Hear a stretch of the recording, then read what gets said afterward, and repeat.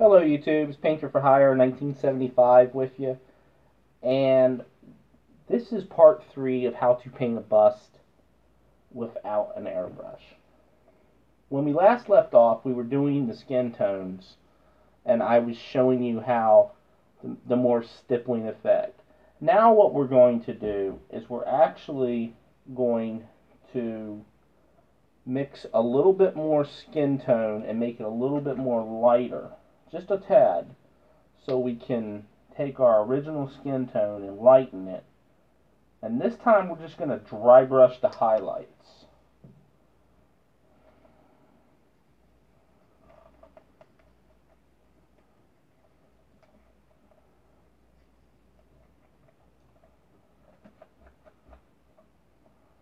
Okay.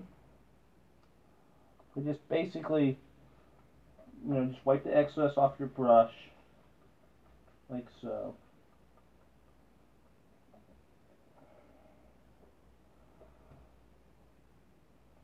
And what you're going to do is you want to just take the raised areas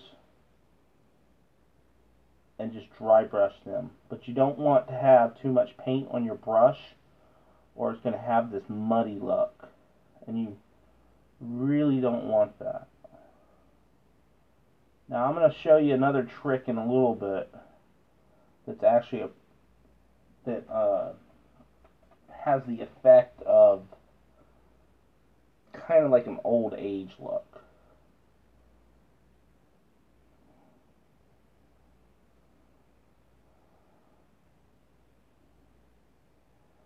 You just want just to hit the the high spot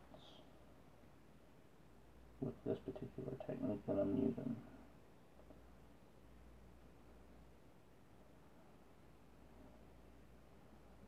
Okay. Going to do the same with the hands.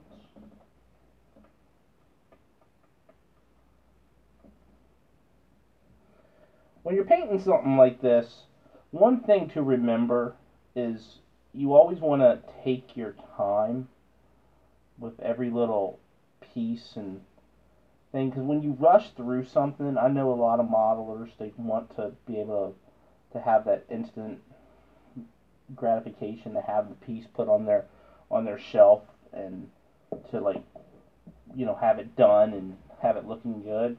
But and, and if you and if that's the type of modeler you want, you know that's fine. But I always feel it's best to take your time because when you take your time, you're going to put your best effort point forward. And, and that's what you want when you're painting a model. Um, so it's very important to just take your time and not really worry about what other people, how fast they work. You know, some people work faster than others. I I have this thing where I will constantly want to, I constantly go slower you know, sometimes I'll see things and I'm like, you know what, I can do that a little bit better if I try this May. I should have tried this.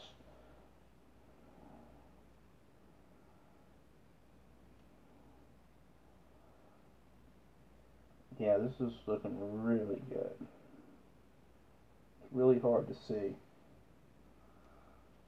That's another thing, you know, I kind of wish that you I mean, I was watching some of my videos earlier and just checking to make sure. And I will say this: the quality of these videos, um, HD wise and clear picture wise, they're a lot better than the Han Solo videos I did. So you guys are getting a much better representation of what it looks like, but still, you just really can't see all the the little details that I've put in this piece.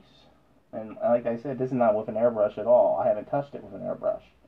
And I don't plan on touching it with an airbrush. Because then I would be a liar. Because I told you I'd show you how to do this without an airbrush. Okay. Now the next thing we're going to do is we're just going to do a little bit of darkening certain areas. And so we're going to take our original base that we used take that, and we're going to mix it with just a little bit of black, not much, just enough to darken it.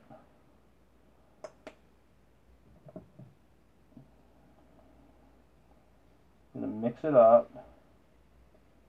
It's gonna, to be honest with you, the color it's gonna create is basically burnt umber. I don't have any burnt umber with right here, so this is uh, how I'm gonna make it. But if you had burnt umber, you would not need to mix this color. You could just use burnt umber. Okay. What you want to do, just get a little bit on your brush, and I'm gonna actually just get the dark recessed areas that are really, really dark, like around his nose. Yeah, see, that's much better. Try to, and I keep forgetting that um, I, I have to show you guys this. Anyway, okay, and I'm just gonna do this pretty much on every every recess I see that's really deep recess. You could actually do this with oils, but I'm going to do this like this just to kind of so I don't have to really bother with the oils. Now I am, I do plan on uh, giving this a wash in oil when I'm finished here. Well, maybe not when I'm finished, but when I'm close to what I want to do. But if, I don't know if you could tell, but if you look right here, it's really kind of much darker. And that's kind of effect that I'm actually looking for because I want it to give it more of a, you know, a, a darker appearance in them recessed areas and that gives it more. It, it's hard to explain, but I guess what the word I'd be looking for is it gives it more of a rotten look, and that's kind of what I'm looking for for this particular piece. So, yeah, that's a. It's a good uh, indication to give it a little bit more definition you, but when you're doing something like this, you really you don't want to go very stark. I mean, too dark because then it will look very stark.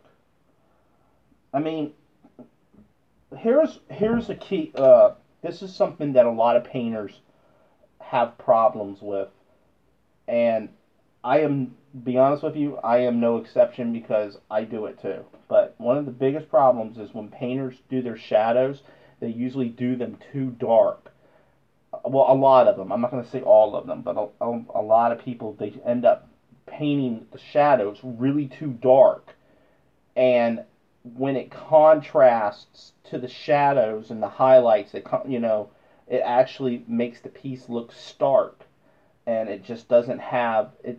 It doesn't have this. It just doesn't have that natural look. I mean, you want shadows, but you don't want your shadows to be so, so dark to where they're just, you know, where it's almost just black. You want it to be kind of around where you want it to be on the side of where it is more subtle. Um, that is basically a cardinal rule that some painters, including myself, I have been guilty of it myself. That is a cardinal rule that some painters break quite often.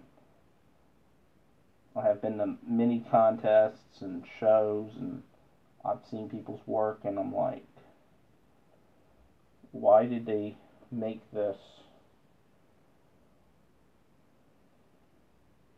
Why did they do this so dark right in the, in the areas?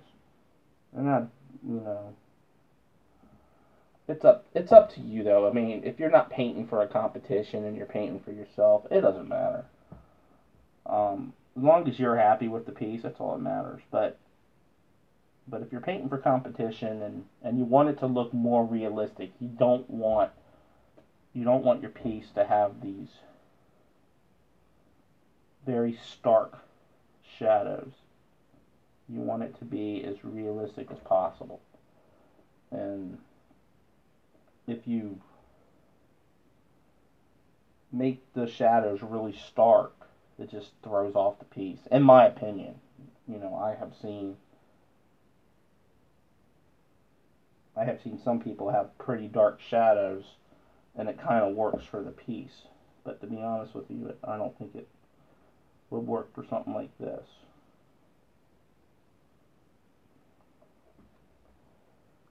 Oh yeah, I wanted to address something. I got a, uh, a private message um, earlier, and to the guy that was asking me if you can apply these techniques to the little smaller figures, I would say no. I mean, because I, I don't think the, the, the smaller figures you I mean you may be able to do a base or or you may be able to take a little small brush and stipple and everything, but it, I don't think you're going to be able to do it with a sponge because it's going to it'll be very difficult to can you know to not cover areas you don't want to because those figures are so small. And but you can do it with maybe a brush but you'd have to you have to be very very subtle with it and make sure your brush is small enough to where it's actually making your your lines and stuff to where they're not being what's the word uh to, to make it where it's not covering like areas you don't want. But yeah you could possibly use these techniques but not with a sponge. You'd have to have a small brush and just like you know just dab at it and everything. Uh, and I know for fact I don't think this would work on 54 millimeter you may be able to get away with doing a little bit of stippling on a 75 millimeter but not for skin I mean those figures are so small I, I would just I'm gonna actually think I'm thinking about doing a tutorial on how I paint those small miniatures because I got a, a, a buddy that's actually going to send me a couple that he wants me to paint for him. And um, so I'm most likely I'm just I'll just do a tutorial on how I do it. To be honest with you, I don't paint those small those small figures as much because I am no spring chicken anymore. I am 42 years old. When I first started this, modeling, I was in my 20s. And my eyesight just does not see those small those small details as much as I used to. Not to say that I couldn't get glasses or anything. It's just sometimes it's hard for me to really see uh, real, real small, small details, but it works.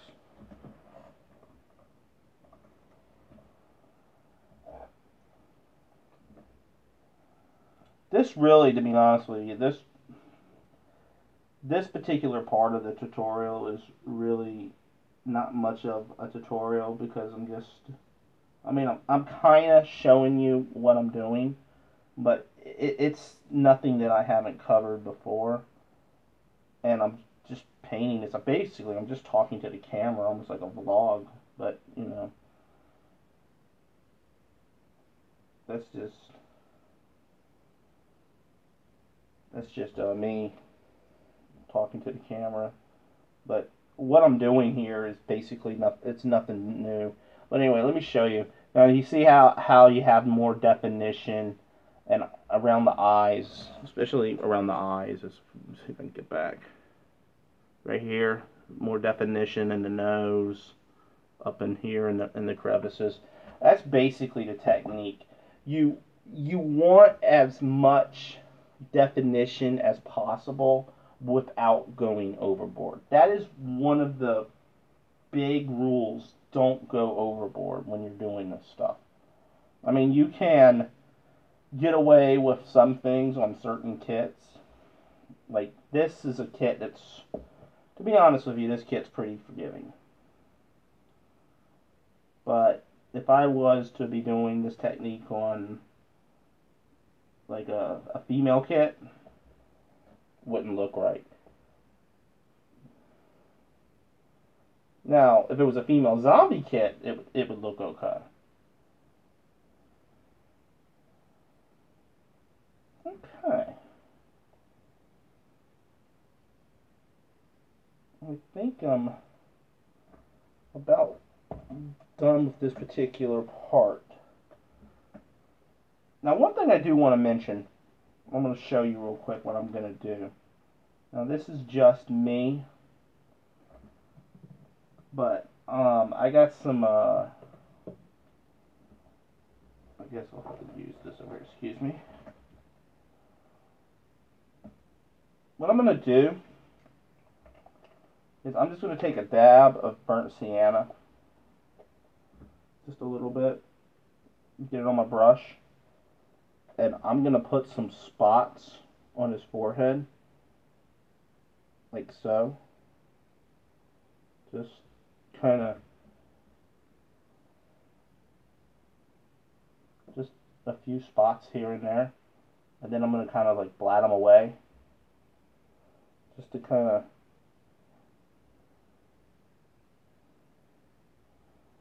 what this is going to do is once I throw my wash on top of it,